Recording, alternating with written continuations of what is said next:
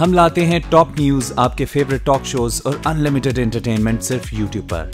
अगर आपने अभी तक हमारा चैनल सब्सक्राइब नहीं किया तो अभी सब्सक्राइब करें और बेल आइकॉन को क्लिक करके हमारी लेटेस्ट वीडियोस के बारे में अपडेट जानें। सब्सक्राइब कीजिए और हम आपको लिए चलेंगे आपकी फेवरेट वीडियो की तरफ़।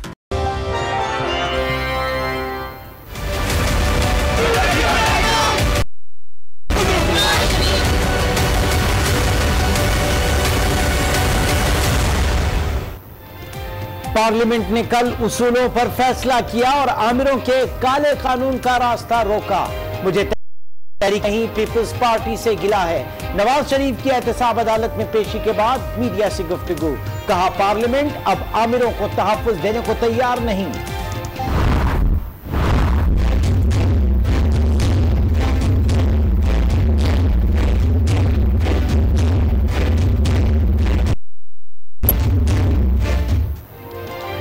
सिजेलियन माफिया गॉड फादर जैसे अल्फाज लिखना अदलिया को जेब नहीं देता। हमारे खिलाफ फैसले बहुत जल्दी आ जाते हैं, उनके फैसले न जाने कब आएँगे?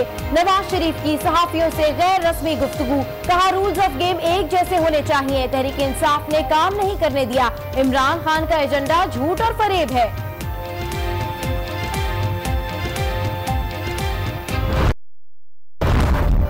एहतसाब अदालत में नवाज़ शरीफ का हल्का फुल्का मूड। सहाफी का पर्स जेब से गिरा तो बोले, जेब में डाल लें, कोई और उठा लेगा तो इल्ज़ाम मुझ पर आएगा। एहतसाब अदालत में गर्मी। गवाह मोहम्मद रशीद का बयान कलम बंद। गवाह को कंफ्यूज किया जा रहा है। नए प्रोसिक्यूटर का इल्ज़ाम। ये बेजा मुदाखलत है। ये क्यों लुकमा देते हैं? ख्वाजा हारिस का रद्द अमल। हम लुकमा देने ही खड़े हैं। प्रोसिक्यूटर अफजल कुरैशी का जवाब, आपने लड़ना है तो फिर मैं चला जाता हूँ। ये सादा सा गवाह है। जज मोहम्मद बशीर के रिमार्क्स दूसरे गवाह का बयान भी कलम बंद।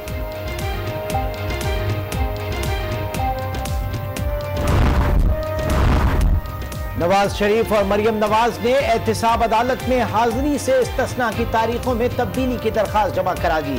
पेशी से इस्तना की मुद्दत 5 दिसंबर से 5 जनवरी की जाए, मरियम नवाज़ की इस्तदा।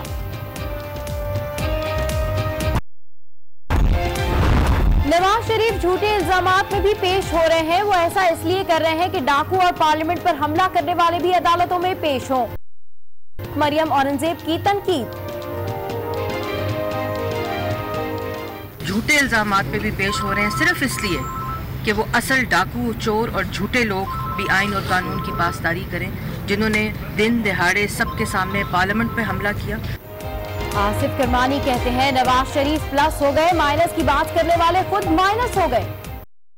लोग जो माइनस नवाज़ शरीफ फार्मूले की ख्वाहिश रखते थे वो लोग अल्हम्दुलिल्लाह कल खुद माइनस हो गए। शरीफ फैमिली की पेशी पर आज भी सख्त हिफाजती इंतज़ाम कारकुनों की नारेबाजी। चुकने वाला, बिकने वाला। सब बोलो। बोलो। भी बोले। बोले। अल्लाह के करम से।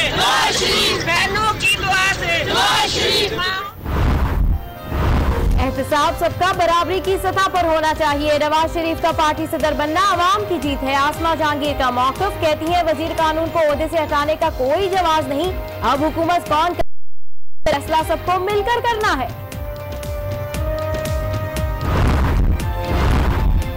मनी लॉन्ड्रिंग का मुल्क का वज़ीर खजाना है। वो कैसे वजरा और जर्नलों के साथ मीटिंग्स में शरीक हो सकता है? शेख रशीद की तनकीद, ये भी कहा कि गुजशत रोज हुकूमत के बावन अरकान असम्बली से गाहिर थे। सुप्रीम कोर्ट ने इंतबी असलाहत एक्ट के खिलाफ दरख्वास्तों पर रजिस्ट्रार ऑफ़िस के एतराजा खत्म। चीफ जस्टिस का इंतबी असलाहत एक्ट के खिलाफ अपील समात के लिए मुकर करने का हुक्म।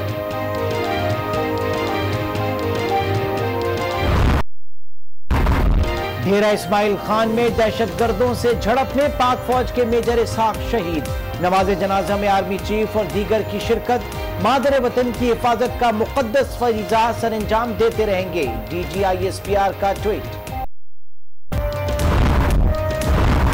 कराची के इलाके कोरंगी में इलियास गोट में एक शख्स की बीवी और बेटी को कत्ल करके खुदकुशी। गुलशन मेहमान में अवाम ने लुटेरे की दुर्गत बना दी। मार पीट कर पुलिस के हवाले कर दिया।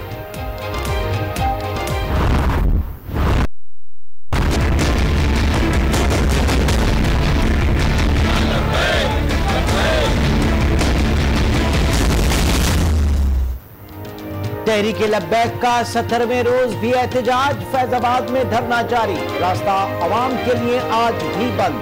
कराची में नुमाइश चौरंगी पर भी धरना।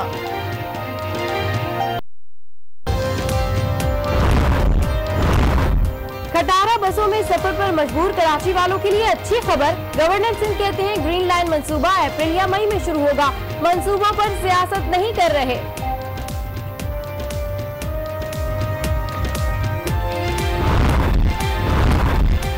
यमन में जंग, भूख और बीमारियों के बाईस रवा साल पचास हज़ार बच्चों की अमवात हुई।